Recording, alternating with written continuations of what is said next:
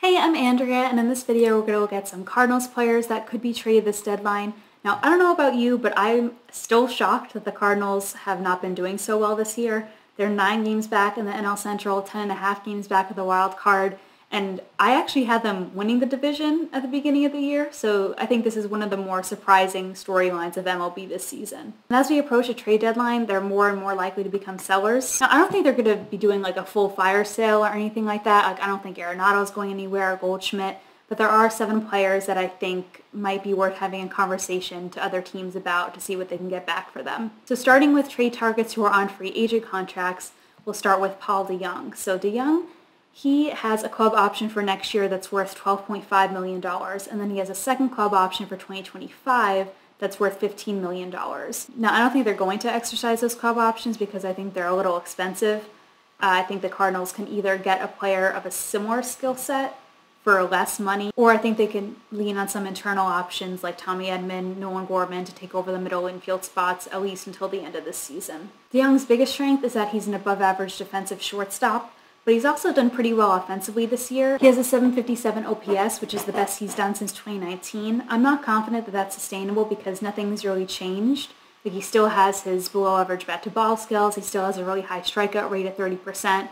And he is showing a slightly more aggressive approach this season, now there's nothing wrong with having an aggressive approach except that it's causing his walk rate to dip to below average and it hasn't been below average since 2018. Next up is Adam Wainwright. This is another interesting case because Wainwright is a franchise player. He's always been a Cardinal, so it's another tough decision for the front office. Given how high in demand starting pitchers are going to be this deadline because of all the injuries, I wonder if the Cardinals will see what they can get for Wainwright. In terms of how Wainwright is doing, he spent some time on the IL at the beginning of the season with a groin injury, but since then, he has eight starts. He has a 5.57 ERA.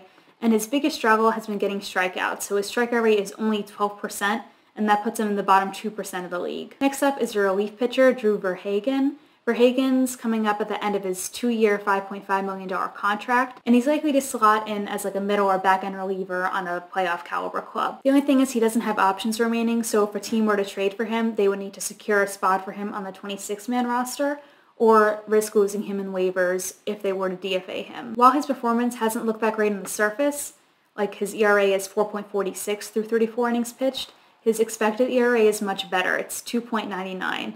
And he also has an average strikeout rate at 22%, so those are both good signs. Now his slider is his best pitch. It gets plus sweep and above average depth.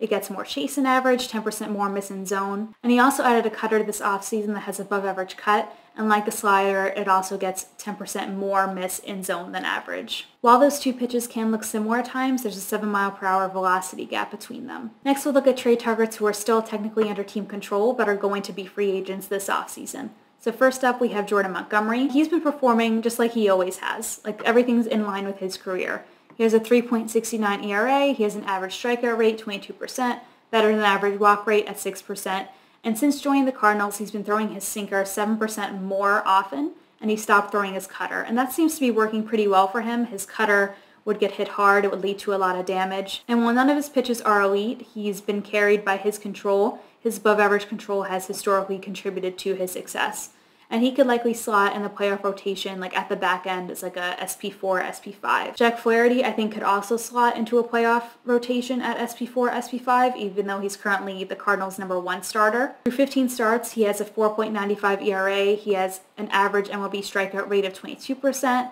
but his uh, walk rate is worse than average at 12%. And he started throwing his cutter more this season, a pitch that he only threw a handful of times in 2022, He's using it primarily against left-handed hitters, which makes sense. You typically use a cutter versus the opposite hand. And while the contact against the cutter has not been great, like it has a 436 xSlug against it, it's still getting 5% more in zone miss than average. Next we have Jordan Hicks, who's a high velocity ground ball reliever, except that he hasn't been getting as many ground balls as he usually does, and that's because he's making up for it with strikeouts.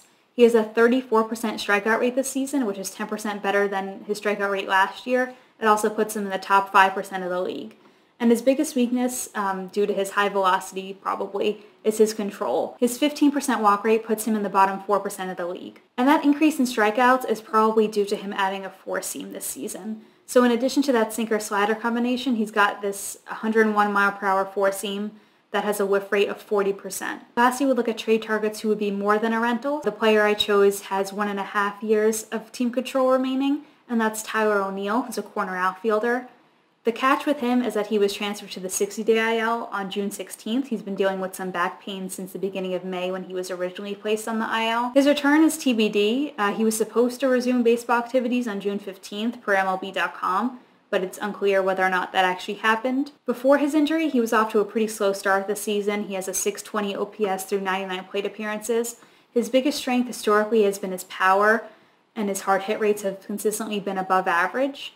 But his biggest weakness, similar to DeJong, is his bat-to-ball skills, and he has a career strikeout rate that's pretty high at 31% and a career whiff rate that's 10% worse than average. We can see what happens with O'Neill, like as we get closer to the deadline, if he does resume baseball activities and gets back on track, he might be worth exploring, especially since he has an additional year of control next season. Let me know what you think about the Cardinals. Like I said, I don't think they're going to do anything too crazy because I do think they have a pretty strong offensive core. But for some of these players who are going to be free agents at the end of this year, I think it might make sense for them to sell and see what they can get back to better prepare them for next season. If you like this video, please hit subscribe subscribe and follow me on Twitter at Scout Girl Report. Thanks for watching!